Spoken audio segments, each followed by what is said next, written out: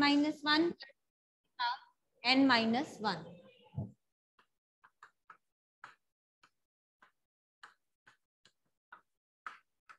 हमें गिवन है? That this is the M between A and B तो A M between A and B हमें ये given है। तो arithmetic mean between the two terms is given by A plus B by two ठीक है? इसी तरीके से अब आपने क्या करना है? क्रॉस मल्टीप्लाई कर लोगे, क्या आएगा? Two into A raise to power N plus two into B raise to power N is equal to यहाँ ये मल्टीप्लाई हो जाएगा A to the power N plus A to the power N minus one into B plus B to the power N plus A into B to the power N minus one ये step clear है? यहाँ से to terms इसकी थी to terms इसकी थी तो four terms बन गई। अब A to the power N और B to the power N वाली टर्म्स एक तरफ़ ले जाओ। So two A to the power N minus A to the power N two B to the power N minus B to the power N minus is equal to A to the power N minus one into B plus B into A to A into B to the power N minus one यहाँ से आ गया आपका A to the power n plus B to the power n is equal to b into a to the power n minus 1 plus a into b to the power n minus one अब ए to the power वाली terms एक तरफ़ B to the power वाली terms दूसरी तरफ़ तो A to the power n minus b into A to the power n minus one is equal to a to the power a into B to the power n minus one into minus किया यहाँ से b to the power n यहाँ तक clear है? कोई doubt तो पूछ लो। Now in दोनों टर्म्स में से क्या कॉमन आएगा? A to the power N minus one तो रह क्या गया? पावर एन थी एन माइनस वन बाहर ले लिया तो पावर वन रहेगी माइनस बी ये स्टेप क्लियर इन दोनों में से A to the power N minus one हमने कॉमन ले लिया। ए टू दावर एन में से आपने एन माइनस वन कॉमन लिया।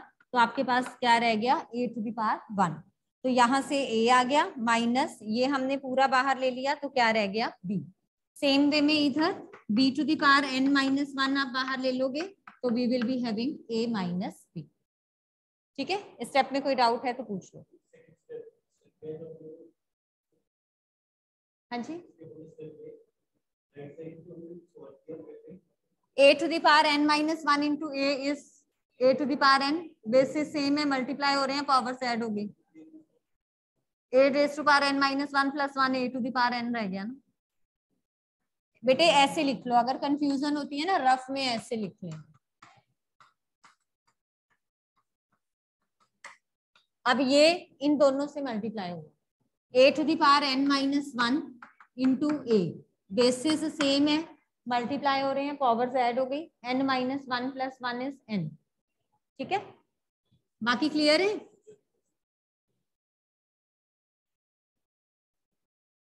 फिर A to the power N और B to the power N वाली टर्म्स एक तरफ़ सिंप्लीफाई करके फिर ए टू दावर वाली टर्म्स एक तरफ़ बी टू दावर वाली टर्म्स एक तरफ़।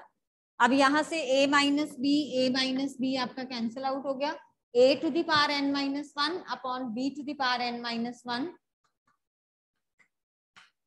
is equal to one आ जाएगा यहाँ से। क्योंकि डिवाइड में लेके आए हो आप इसको। अब this can be written as a upon b raise to power n minus one is equal to यहाँ पे वन है तो this can be written as this क्योंकि आपको पता है any number raise to power zero is one अब basis same है पावर्स इक्वेट कर दोगे तो एन की वैल्यू कितनी आ जाएगी? वन हाँ। पर एमसीक्यू नहीं है ना, हमें शो करना पड़ेगा। एमसीक्यू होता तो हम डायरेक्ट लिख देते।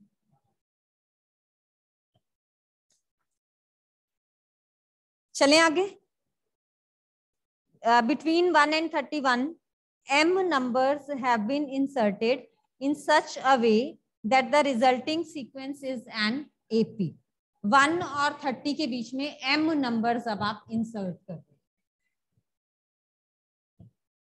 यानी कि वन है थर्टी वन है, और एम नंबर्स आप इंसर्ट कर रहे हो, यानी कि अरिथमेटिक मीन्स आप इंसर्ट कर रहे हो, क्योंकि उन्होंने कहा such that the resulting sequence is an AP तो नंबर्स जब भी दो नंबर्स के बीच में आप कुछ नंबर्स की लिस्ट ऐड करते हो, और फिर ये रिजल्टिंग सीक्वेंस अगर आपका एपी फॉर्म कर रहा है तो इट मीन्स ये सारे क्या होते हैं? आरिथमेटिक मीन्स होते हैं। अब आगे वो क्या कह रहे हैं? And the ratio of the seventh and m minus one numbers is five ratio n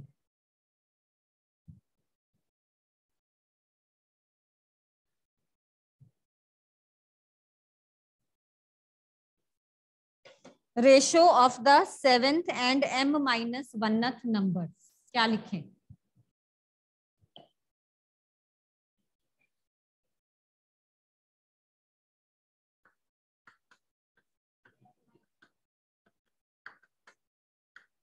ये अब आगे क्या निकालना है?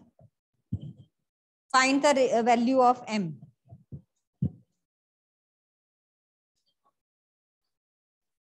hmm आप डी के लिए मैंने फॉर्मूला बताया था क्या? हाँ d is equal to b minus a upon number of terms जितने नंबर्स इंसर्ट किए हैं प्लस वन सो डी कितना आ जाएगा? Thirty upon m plus one a कितना है? वन ए एन कितना है? Thirty one in case if we will need this हाँ जी last term thirty one last term है. तो हमारे पास क्या होता है? ये कहाँ से बनते हैं? अगर हमें ए और बी दो नंबर्स गिवन है इनके बीच में हम एन नंबर्स इंसर्ट कर देते हैं अगर तो ये आपका जो रिजल्टेंट सीक्वेंस है this will form an A P अगर फॉर्म कर रहा है तो कॉमन डिफरेंस हम कैसे निकाल सकते हैं? जो दो नंबर्स हमें गिवन थे, उनका difference a n minus a one divided by जितने इंसर्ट किए हैं प्लस वन ठीक है? चलो, अब क्या आएगा? A seven is a plus six d ठीक है ये? ए सेवन किसको रिप्रेजेंट कर रहा है? अरिथमेटिक मीन को। सेवेंथ नंबर है के टर्म है? नंबर है तो ए सेवन है ना? ये नंबर्स हमने इंसर्ट किए हैं between one and thirty one ठीक है? अब वो क्या कह रहे हैं कि ratio of the seventh and m minus oneth numbers is five ratio n terms की बात नहीं करी उसने नंबर्स की बात करी है। तो a seven is the seventh number and a m minus one is the m minus oneth number. तो जब अरिथमेटिक मीन लिखना होता है, आपको मैंने कल भी करवाया था, जो वैल्यू यहाँ होती है, वही यहाँ। क्योंकि एक्चुअल में जो यहाँ पे ए सेवन है that is representing the eighth term ठीक है? तो a plus seven d upon a plus m minus one into d क्या आएगा इधर equal to five upon nine अब डी को किससे रिप्लेस करोगे? Thirty upon m plus one से और ए को किससे रिप्लेस करोगे? वन से।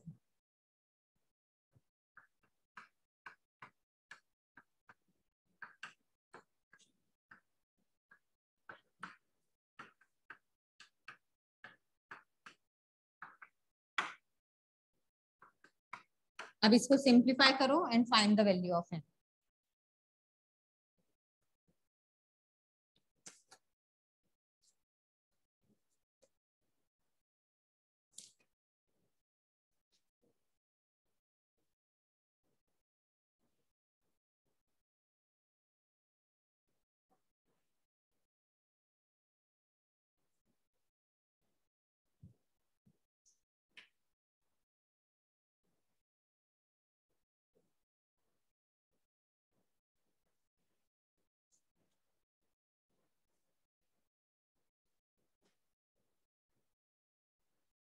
कितना आएगा? सिंप्लीफाई करके बताइए जल्दी से। एलसीएम ले लो।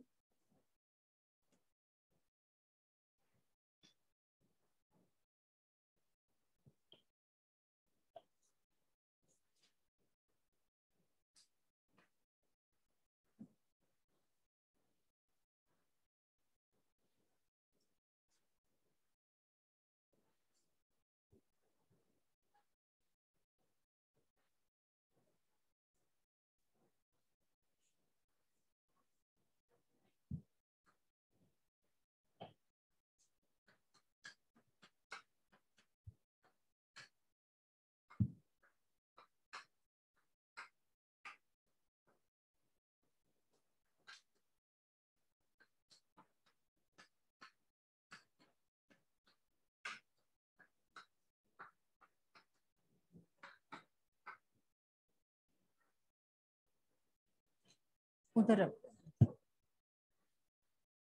ये कैंसिल आउट हो जाएगा।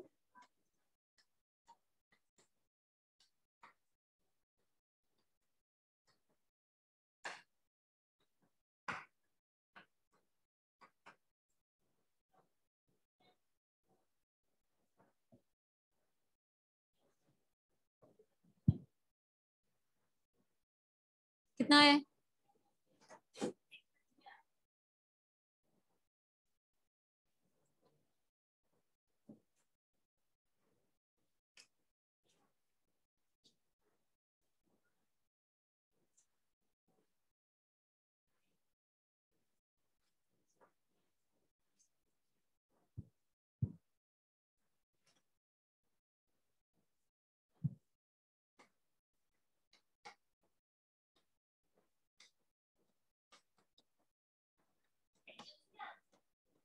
नो फोर्टीन आ रहा है यस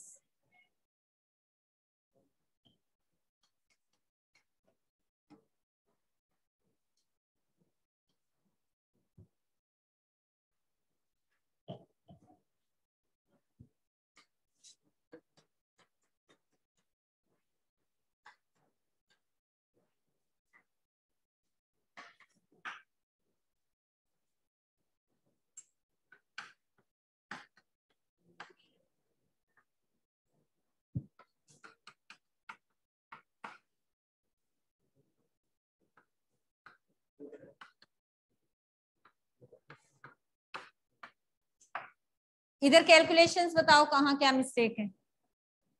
यहाँ नाइन से नहीं मैंने मल्टीप्लाई किया।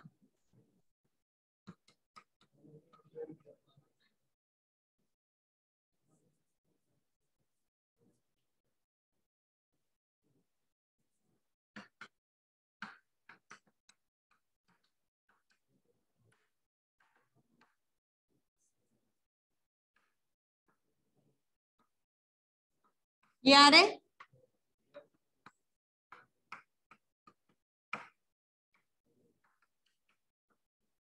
एम आ रहा है। आपका fourteen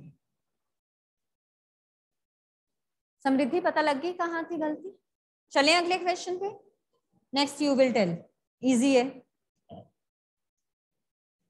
A man starts repaying a loan as first installment of rupees hundred first installment उसने पे की rupees hundred if he increases the installment by rupees five every month हर महीने वो इंस्टॉलमेंट इंक्रीज कर रहे हैं फाइव रुपीज़ से। यानी कि फ़र्स्ट इंस्टॉलमेंट उसने दी हंड्रेड रुपीज़ अगली वन हंड्रेड फाइव उससे अगली one hundred ten and so on what amount he will pay in the thirtieth instalment तो थर्टियथ इंस्टॉलमेंट में वो कितना अमाउंट पे करेगा? तो it means you are to find a thirty a n हाँ जी। ठीक है? कर लोगे? चलिए eighteen question difference between any two consecutive interior angles of a polygon is five degree interior angles हैं पॉलीगन के कंसेक्यूटिव जो, उनका डिफरेंस हमें फाइव डिग्रीज गिवन है. If the smallest angle is 120 degree find the number of sides of the polygon number of sides polygon की हमने निकालनी है. तो स्मॉलेस्ट एंगल 125 डिग्री है.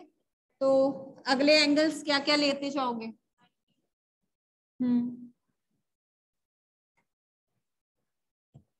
स्मॉलेस्ट वन ट्वेंटी है तो अगला वाला फाइव फाइव ऐड करके मिलेगा, ठीक है?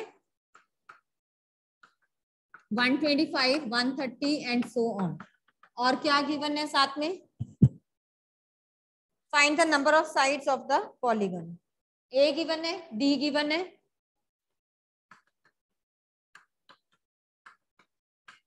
एन निकालना है। क्या करें?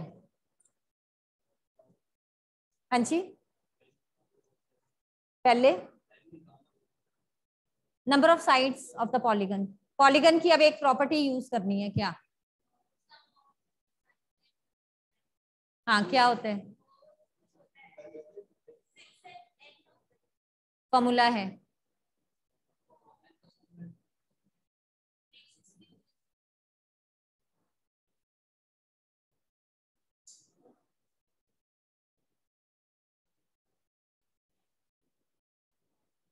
साइड्स अगर एन गिवन होती हैं तो sum of the interior angles क्या होते हैं?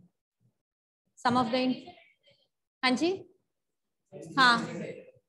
वन एटी नाइन्टी वाला भी कर सकते हो।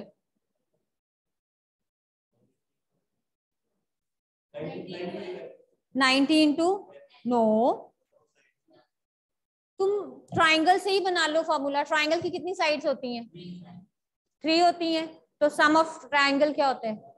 कैसे बनेगा? एन इंटू नाइन्टी से। फिर।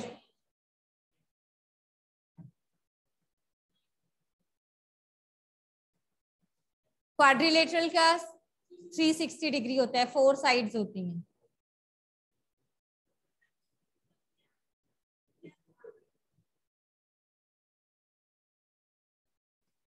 डू इट क्विकली नो बेटे। किसका? इंटू नाइनटी हो गया ना? Number of sides into ninety नहीं है। साइड में क्या माइनस या क्या प्लस करोगे? इंटू नाइनटी करोगे।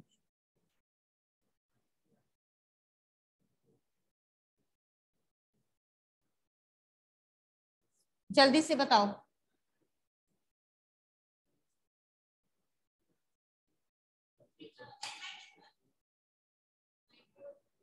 Four sides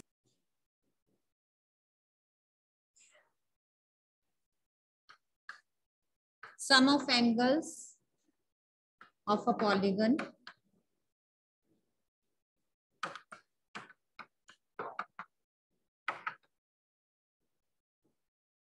यहाँ पे एन एस एन का फॉर्मूला क्या लगाया है?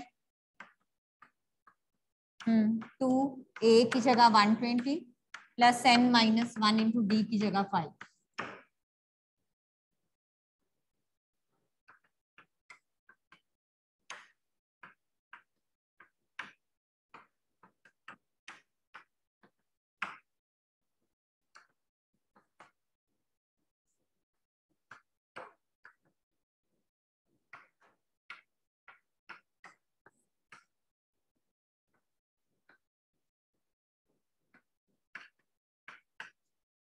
अब एन वाली टर्म्स एक तरफ़ ले लो और फैक्टर्स बना लो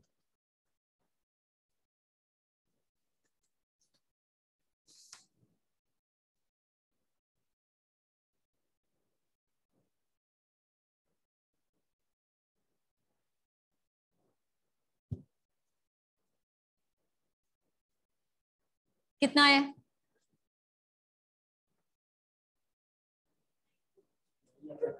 हाँ? ठीक है। क्वाड्रेटिक है, दो वैल्यूज़ आएँगी तो एक रिजेक्ट हो जाएगी ना।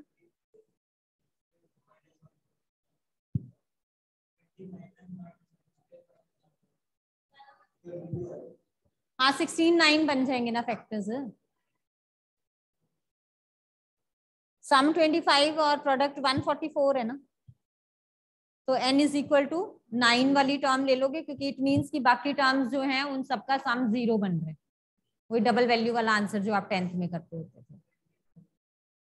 एन एन स्क्वेयर माइनस है कि प्लस है? तो ऐसे बनेगा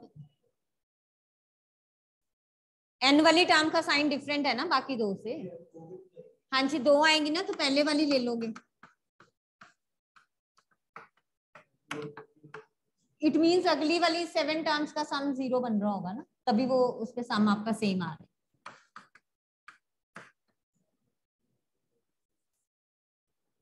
है। एन कॉमन ले लो।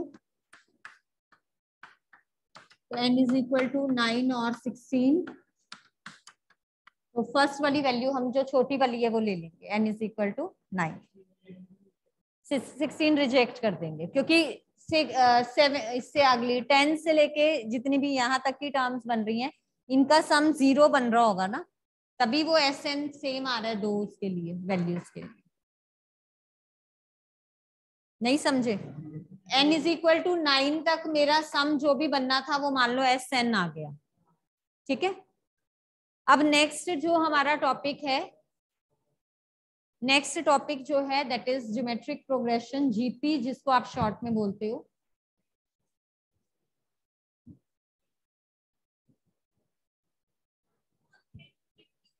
बड़ी वाली करोगे ना छोटी वाली लेके चलते हैं। जिसपे पहले सम हमें मिल गया क्योंकि नेगेटिव वाली हमने लेनी नहीं है जहाँ से हमें नेगेटिव वैल्यूज़ मिल रही हैं एंगल्स को रिप्रेजेंट कर रहे हैं। सो so, नेक्स्ट है हमारे पास जीपी ज्योमेट्रिक प्रोग्रेशन ये ध्यान से समझना, क्योंकि अदरवाइज़ कंफ्यूजन रहती है।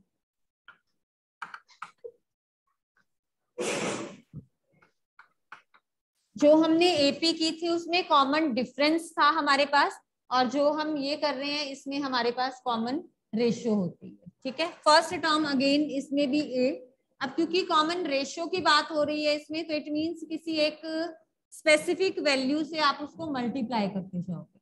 तो यहाँ पे आर से मल्टीप्लाई किया ए आर नेक्स्ट टर्म में इसको फिर आर से मल्टीप्लाई करोगे तो that will be a r square then a r cube a r to the power four और लास्ट टर्म क्या आ जाएगी? R to the power n minus one this is your first term this is your second term third term fourth term fifth term first term में r zero r s to power zero लिखो ना लिखो, कोई फ़र्क नहीं पड़ेगा। Term second थी r की वैल्यू वन लेस आर आ गई। टर्म थर्ड थी वन लेस आर स्क्वायर आ गया। फोर था वन लेस आर क्यूब आ गया। तो एनथ टर्म के लिए one less r to the power n minus one बन गया।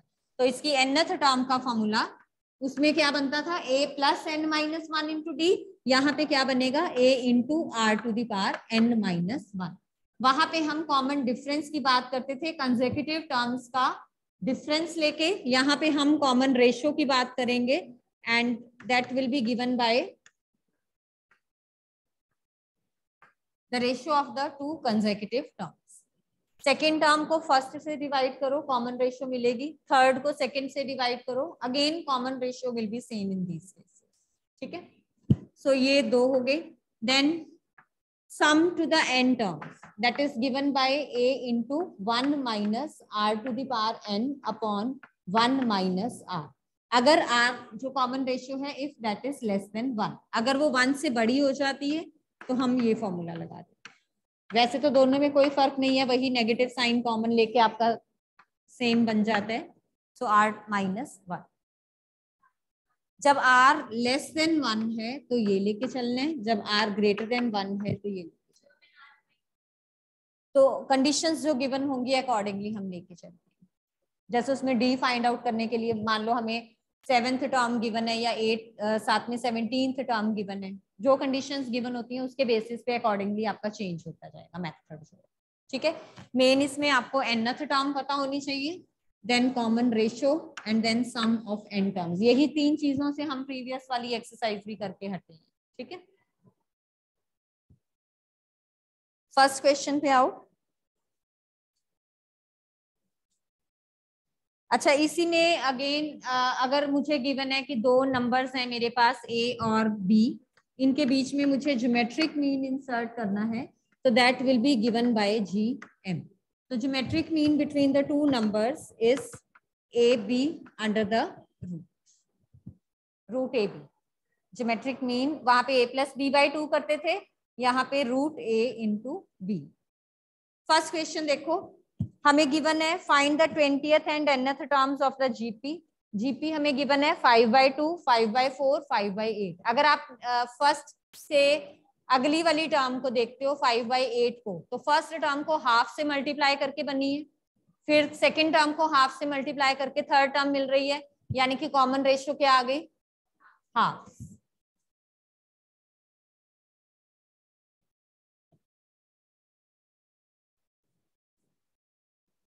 फ़र्स्ट टर्म है कॉमन रेशियो है तो you can find out the terms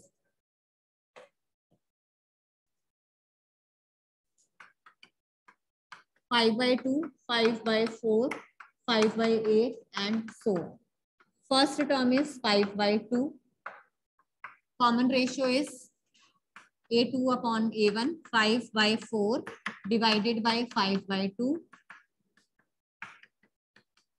so this is हाँ ठीक है? अब निकालना क्या है? ट्वेंटियथ टर्म यानी कि ए ट्वेंटी क्या फॉर्मूला होगा? A r to the power n minus one यानी कि नाइनटीन आ गया. ट्वेंटी का वन लेस। अब वैल्यूज़ पुट कर दो। ए आपके पास है five by two into r to the power nineteen या तो आंसर ऐसे छोड़ दो। अदरवाइज़ ये वाला टू इसके साथ लेके you can write it down as five into one by two raise to power twenty दोनों तरीके से सेम चीज़ बन रही है। गॉट इट कोई डाउट है तो पूछ लो। और साथ में अब उन्होंने और क्या निकालने को कहा है? एनथ टर्म तो a into r to the power n minus one है फॉर्मूला तो यहाँ पे nth term a is five by two into half raise to power n minus one तो this can be written as five into half into half to the power n minus one ये five by two को मैंने five into half लिख लिया। अब ये वाला half इसके साथ मल्टीप्लाई कर देंगे। बेस सेम है पावर्स ऐड होके क्या बन जाएगा? Five into half to the power n so this will be your n ठीक है? अमिश पूछो डाउट ये स्टेप नहीं ना समझ आया? क्या आगे ये वाला कि वो वाला? इतनी कैलकुलेशंस नहीं करनी हम। ऐसे पावर की टर्म्स में छोड़ दोगे। ठीक।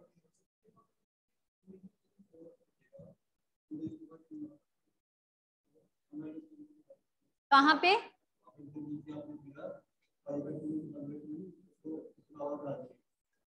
इसमें मल्टीप्लाई कर दिया ना मैंने अपॉन में टू था। वन की जो मर्ज़ी पावर लू, में वन ही रहेगा। यहाँ पे क्या बन गया बेस में?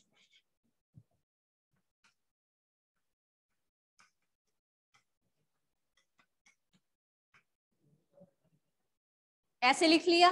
वन की जो मर्ज़ी पावर हो वन रहेगा। तो ऊपर न्यूमिनेटर में क्या आ गया? फाइव अपॉन में two into two raise to power n minus one bases same है मल्टीप्लाई हो रहे हैं पावर से ऐड कर दी तो two raise to power n बन गया. One raise to power n के साथ अगर मैं उसको लिखूं तो कोई फ़र्क नहीं पड़ेगा। ठीक है? चलिए फ़र्स्ट में कोई डाउट तो पूछ लो। हाँ जी, छोड़ सकते हो, आप ऐसे भी छोड़ सकते हो, वो भी करेक्ट है। इधर भी ऐसे छोड़ सकते हो। दैट इज़ करेक्ट ठीक है? Second question find the twelfth term of the GP whose eighth term क्या लड़ रहे हैं अब ये क्या कह रहे हैं